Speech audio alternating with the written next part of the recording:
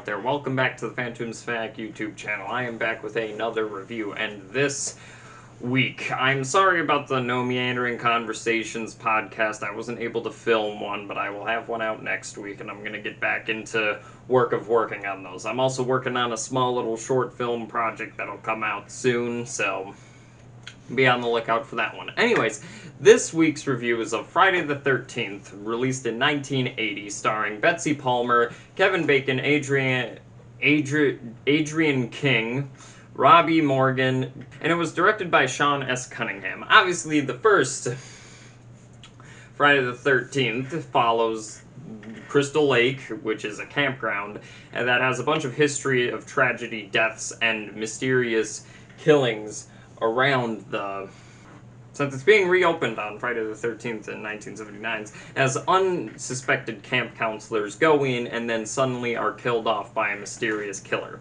Obviously, Friday the 13th is such a popular franchise out there. I have an eight movie collection disc of the Friday the 13th movies, at least produced by Paramount, even though now it's owned by New Line Cinema or whatever bullshit is with that. And uh, obviously, Jason, big boy right there, is a huge pop culture phenomenon. Even though in this first movie, and even Scream comments on this, he's not the killer. He's the motivation for the killer. Spoilers. But. Does the movie work out as a whole? No, it is a very standard slasher in my opinion. The parts of this movie I liked, I will say right away. There are some moments of entertaining by the actor, entertainment by the actors when there's weird scenes with random characters who show up, like the scene with the cop or the scene with the hitchhike, the the the scenes with Crazy Ralph and stuff like that. Those scenes I find entertaining, but the stalkery slasher moments I don't find all that engaging and especially with Sean S. Cunningham's directing and the editing in this really does drag it down a lot. This movie fucking pads itself in holding on shots for way too fucking long and scenes that are just meandering. The climax of this has some entertaining parts, but it takes so fucking long to get to the end result that I'm like, God, just stop this already. I'm fucking sick of this. But let's say more of the positives. Harry Manfredini's score in this is very well done. I love his score. It really does carry the slashery scenes of this. The kiki ah ah ah kiki ah ah ah.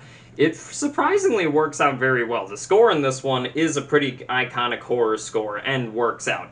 Obviously, I do not enjoy this movie more than A Nightmare on Elm Street. I think that movie is a lot better for a classic slasher. This movie is very fucking standard in its results. There isn't really anything new being explored here with this subgenre.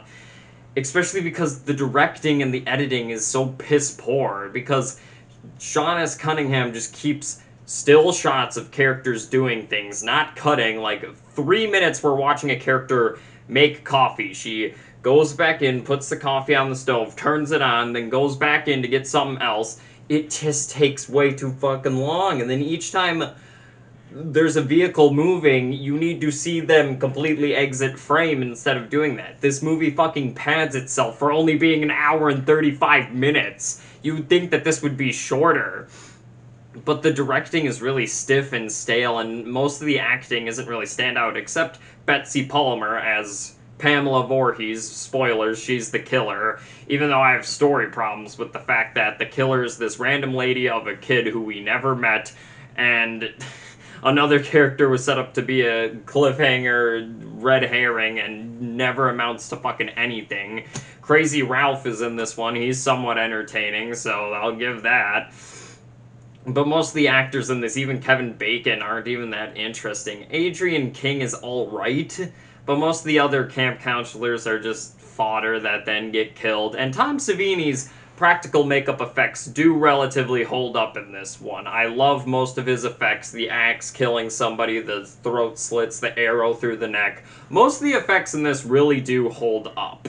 But the parts of this that really don't work don't work for me, which are the acting being really stiff and stale, not all that engaging, the directing and editing being so goddamn drawn out that I'm just like, okay, can we get fucking through this?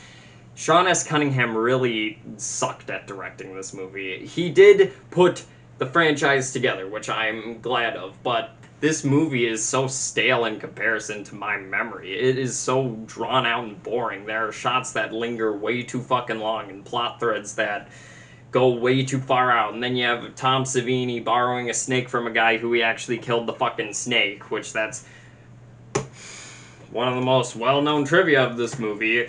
But yes, as I said, the makeup effects do hold up, and there's some pretty good kills, but it takes way too long to get to the kills and all of that. Betsy Palmer, when she shows up, is actually pretty fucking good. She plays crazy in a very good way and she goes back and forth and she does some scary moments like that creepy jason voice she does like kill her mommy. Kill her.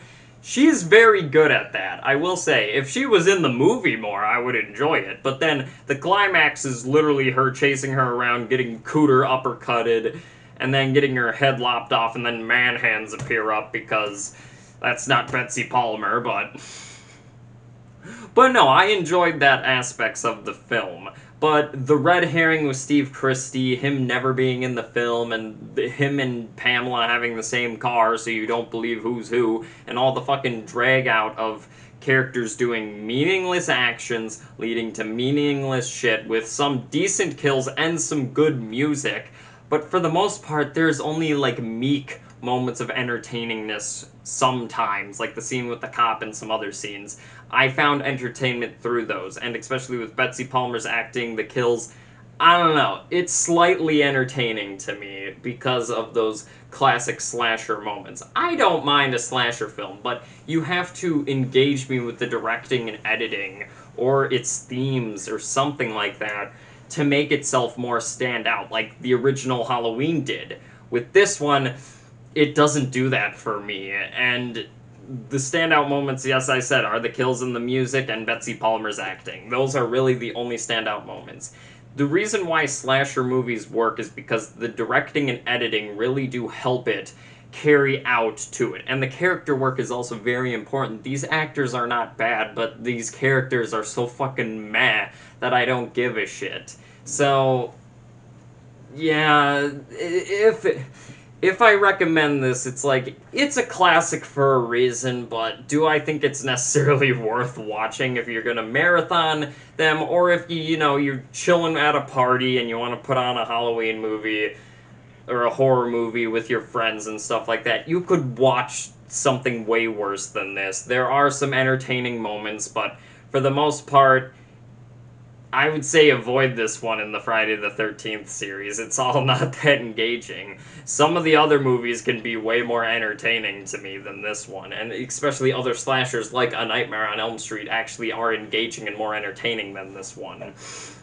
So, yeah, take it the way you want to take it because this first one, I can see why it spawned such an iconic franchise, but there are other there are other movies in that franchise that are way more engaging and way more entertaining. This one in itself is just kind of bland in the whole Friday the 13th franchise. So, and comparatively to these other slasher movies that came out, the other ones are more engaging to me than this one. So, it's a hard recommend. If if you just want an entertaining slasher, you could pick a worse option. So, yeah, that's going to be it for this review. So, hope you guys enjoyed. Please like, subscribe down below if you did enjoy, and uh, make sure to comment on what you thought about the review. If you have any other movies you want me to review, make sure to leave those in the comments section. I always like to see those. Make sure to share and favorite the channel. I always like to see the growth. And yeah, I will see you all next time.